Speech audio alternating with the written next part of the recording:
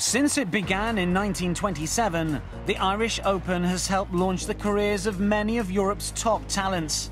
The tournament is back at the K Club this week in its second year hosted by the Rory McIlroy Foundation. A player himself who represents one of the greatest Irish success stories. This week in golf, we go back seven years when another of Ireland's current generation of stars emerged at this tournament. 22 year old amateur Shane Lowry was heading the final day leaderboard alongside England's Robert Rock, and just look at the weather. Lowry had the opportunity to win at the 72nd hole. But the putt slid agonisingly by, and he entered a playoff with Rock.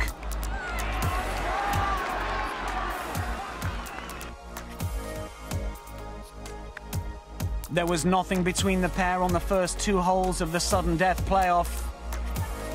So it was on to the third, and after a solid approach, Lowry would face a birdie putt to seal the title.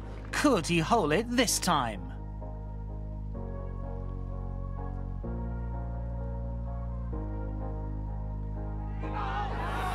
Steady. Oh, he thought he'd made it. And so Rock needed to save par with his own putt to stay in the tournament. So it all rests on this.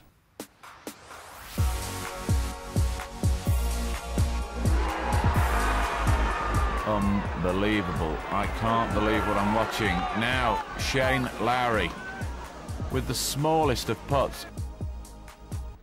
The town has gone mad. Irish golf had a new hero. It was a first career title for Lowry, who would go on to turn professional straight afterwards. He joins many other star names at the K Club this week and will be hoping for another victory.